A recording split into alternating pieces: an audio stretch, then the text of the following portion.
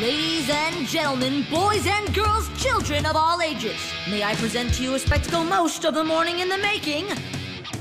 The coolest coaster ever! Buongiorno. Arigato. Thanks for being here. Our sister Candace is gonna flip when she finds out you're on the show. She loves you and your music a lot. Hey, other dimension, Candace!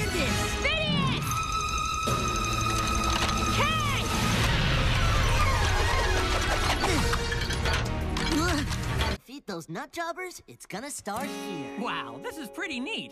What's this for? We find that this setup helps us think.